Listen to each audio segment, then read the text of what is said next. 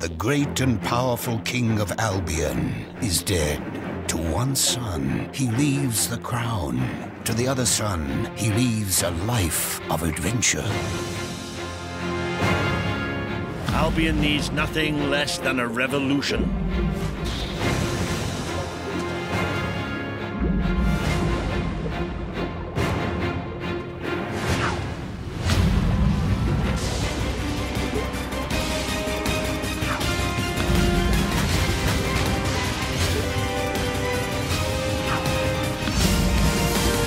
The quest to save Albion begins.